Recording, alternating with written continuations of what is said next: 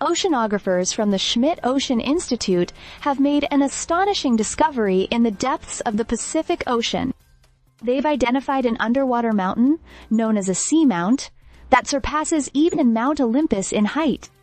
Located approximately 900 miles off the coast of Chile, this submerged giant reaches a staggering height of 3,109 meters, that is 2 miles, above the surrounding seafloor.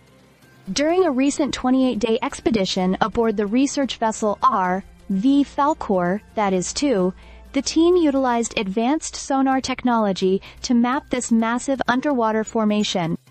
The seamount covers around 70 square kilometers, making it a colossal feature of the ocean floor. For perspective, this underwater peak is nearly twice the height of Mount Olympus in Greece, which stands at 2,917 meters. Expedition not only uncovered the size of this mountain, but also revealed its rich and diverse marine ecosystem. The researchers documented a variety of deep sea life, including a ghostly white octopus, informally dubbed the Casper octopus. This elusive creature had never been seen in the southern Pacific before and does not yet have a scientific name. They also captured rare footage of a Promachoteuthis squid, a species previously known only from dead specimens. Adding to the excitement, the team spotted two Bathyphysa siphonophores, affectionately known as flying spaghetti monsters due to their long, string-like tendrils. These rare deep-sea organisms are a fascinating sight and highlight the unique biodiversity of the seamount.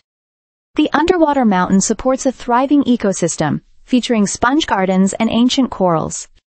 One coral garden observed is as large as three tennis courts, providing habitat for various marine species, including king crabs and rockfish.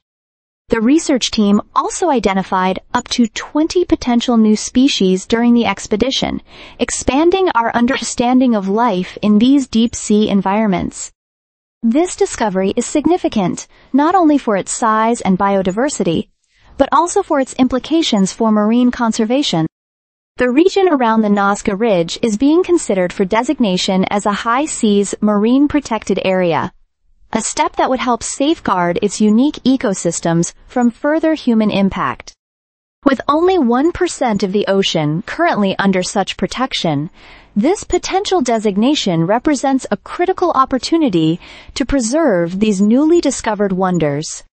The findings from this expedition contribute to a broader effort to map and understand the ocean's hidden depths.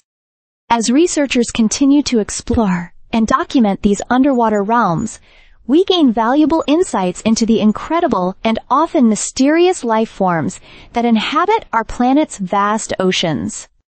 Stay subscribed for more videos.